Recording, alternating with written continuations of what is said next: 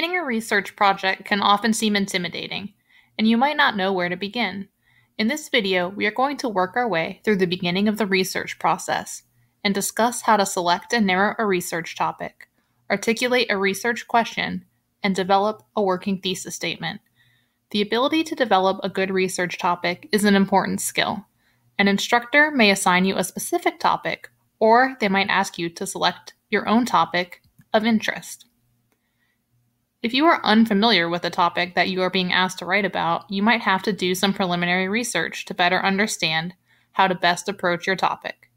Keep in mind that the sources you consult during this stage may not be appropriate to use in your final paper, but they can help you learn a little bit more about your topic. After you know a little bit more, you will need to refine your topic. Sometimes a topic that seems like the right size can be way too big after you've learned a little more about it. When this happens, you need to narrow the focus of your topic. You can do this by considering different ways to restrict your research topic. One way to do this is to ask who, what, where, when, or why questions. These will often lead you to a much narrower approach to your topic. You can also use concept mapping during this process. So, for a broad topic on social media, maybe you are interested in teenagers and the mental health impacts during the last five years in the United States. Now you are starting to narrow down your topic, which will make your research much easier, your thesis statement clearer, and your paper more effective.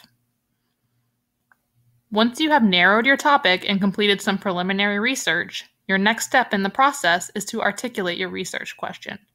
A research question takes you beyond simple facts about a given topic. It is an inquiry into a specific issue or problem.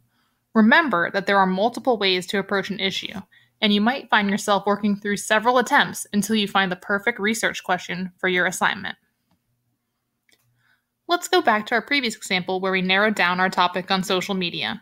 Based on the concept map we created, my research question might be something like How has social media use impacted the mental health of teenagers in the United States in the past five years? This research question will guide you continuously as you write your paper, form the basis of your research activities, and be essential to developing your thesis statement. Finally, you will develop a working thesis statement before you dive into your more advanced research. Think of your thesis statement as a roadmap for your paper. It should appear in your introduction and convey to the reader the specifics of what your paper is going to discuss. If I am thinking about my example research question, how has social media use impacted the mental health of teenagers in the United States in the past five years? A working thesis that I might develop could look like Over the past five years, studies have shown that an increase in social media use has direct impact on the social life, sleep habits, and mental well being of American teenagers. This thesis statement makes it clear to my reader what my paper is going to discuss. Once you have developed your thesis statement, you are ready to begin your research. But remember that the research process is not always simple and straightforward. At this point, your working thesis statement might change or evolve as you dig deeper into your topic. Don't get discouraged if you struggle to find sources related to your thesis during your research. You might just need to adjust your approach.